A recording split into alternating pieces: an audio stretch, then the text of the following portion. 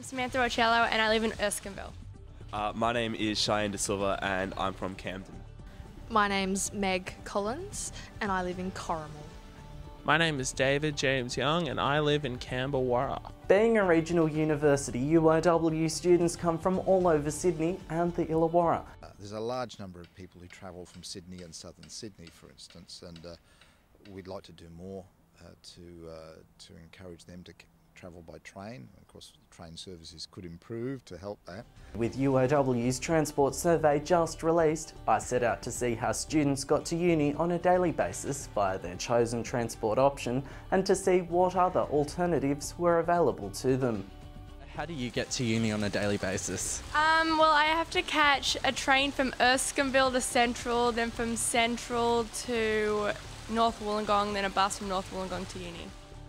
It depends. Sometimes there's like express, sometimes there's like all stops. It can take me anywhere from an hour and a half, that's at its quickest, to three hours. Uh, usually I get to uni um, by car and that takes about 45 minutes to about an hour depending on traffic. What other options are there available to you if you didn't catch the train? Um, basically, it's only just train or driving, but I just think that driving that far a couple of days a week would just add so much in petrol costs. So, train ticket costs like $7.80, so it's a bit cheaper. Oh, well, there's plenty of um, transport alternatives, but it's really just the easiest way. You know, if you try to take a train or a bus, it takes like two to three hours, and that's not really worth it. Uh, every two years, we do a number of surveys to determine how people are travelling to the university and uh, to establish how people feel about the forms of transport and what issues they have with the modes of transport they use. As I say, around th a third of everybody coming to the uni comes on a on the shuttle, but about a third of people um, are coming one person to a car.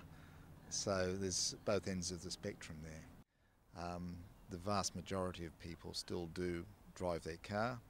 Um, we've encouraged a lot more people to share cars, which has been a, a big plus because, uh, as everybody knows, there's a serious problem in terms of uh, being able to fit all the cars into the space we have. Um, and uh, I think we're moving in the right direction in that more and more people each year are travelling by sustainable transport or more sustainable transport than, uh, than car.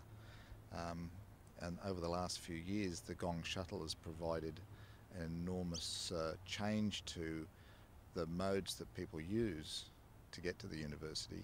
Um, I get to uni by driving. Um, I have paid especially for my own parking spot. I will um, catch the train from Bomaderry, which is near Nowra, and go straight to North Wollongong, get a bus from there, come here, leave, do the whole thing in reverse. Um, just over an hour, so 70, 80 minutes or so. I used to try and catch public transport, but it began to you know just get so difficult that it just wasn't worth my time anymore um, especially in the fact that you know i only live 15 to 10 minutes from the uni and sometimes it could take me up to an hour to get to uni you know either waiting for a bus because i would have to catch a bus and then a train and then another bus like it's it's you know and when you're only you know 10 minutes drive away it seems a bit ridiculous that they're not running straight buses to the university, um, especially because there is a lot of students that live in just suburbs just north of Wollongong.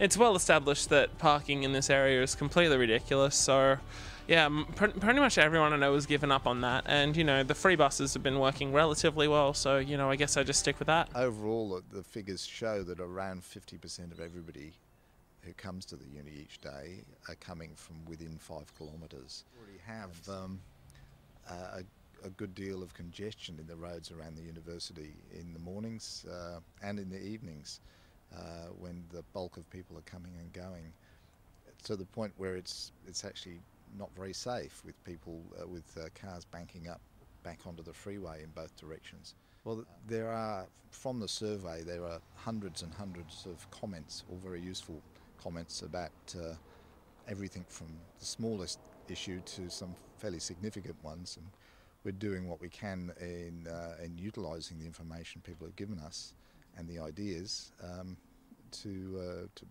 prioritise what we are doing so that we can uh, improve transport and make uh, sustainable transport a thing for everyone.